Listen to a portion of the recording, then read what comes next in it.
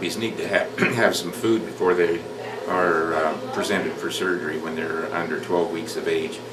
We also lay a towel underneath them just to be able to separate them from a cold table in order to try to conserve their body, body heat.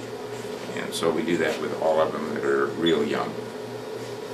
The little rascal gets to go home, which will only be in about an hour. She's easily up because of the anesthetic that we use. They'll bounce back because uh, they seem to met- metabolize the anesthetics a lot quicker and they'll wake up in half the time than an adult animal will. And in her case, when she gets home, why the client then can feed them right away and they'll be most anxious to eat.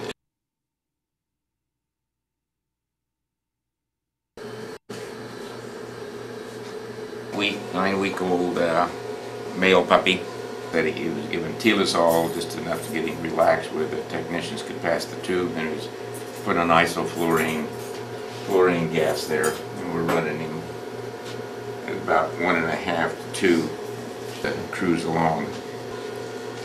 And we'll be doing an early age or prepubescent surgery on him. Have uh, be able to drape him up here. They are real tiny, they are certainly there.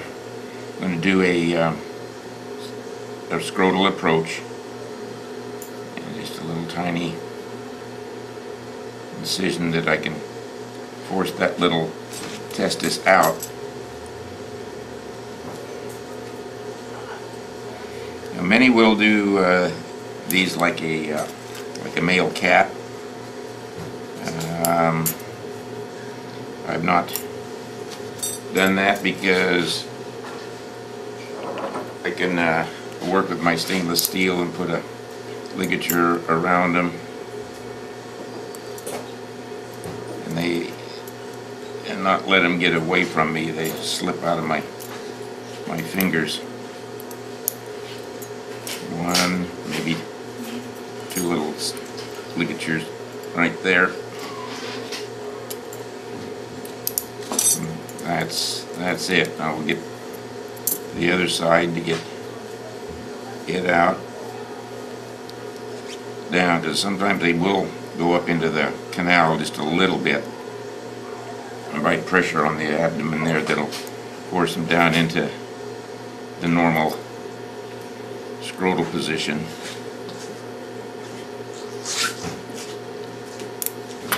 And place the two clamps. The bottom one is just simply to hold it out. Keep it from slipping down and then I can just turn this one over and back and forth and tie between them.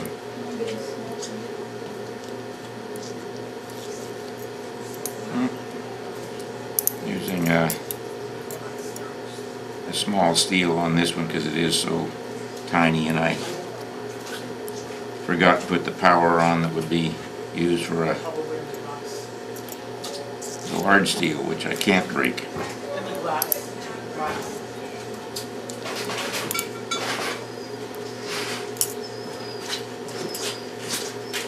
Going around again, more for the demonstration, the one is gonna, going to do it.